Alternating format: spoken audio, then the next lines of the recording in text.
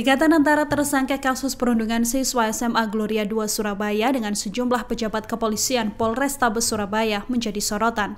Terekam sebuah foto momen-momen kebersamaan antara Ivan Sugianto dengan kepolisian Surabaya. Dalam sebuah foto, Ivan tampak bersama dengan pria berseragam TNI berpangkat kolonel. Beredar juga foto Ivan bersama dengan Wakasat Reskrim Polrestabes Surabaya, Kompol Teguh Setiawan. Selain itu beredar pula foto Ivan tengah sendirian di meja yang dindingnya tertulis Vice Control Polrestabes Surabaya yang diduga di sebuah ruangan di Polrestabes Surabaya.